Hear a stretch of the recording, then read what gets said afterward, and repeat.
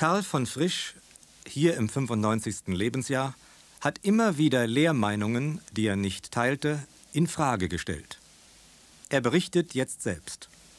Es war damals die Meinung verbreitet, dass Insekten und alle wirbellosen Tiere total farbenblind wären.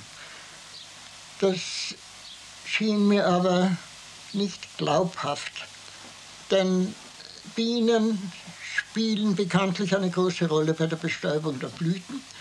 Sie sammeln an Blumen Nektar und Blütenstaub und es ist schon lange die Meinung gewesen, dass die Farben der Blumenkronen ein Mittel seien, zusammen mit ihrem Duft die Bienen anzulocken.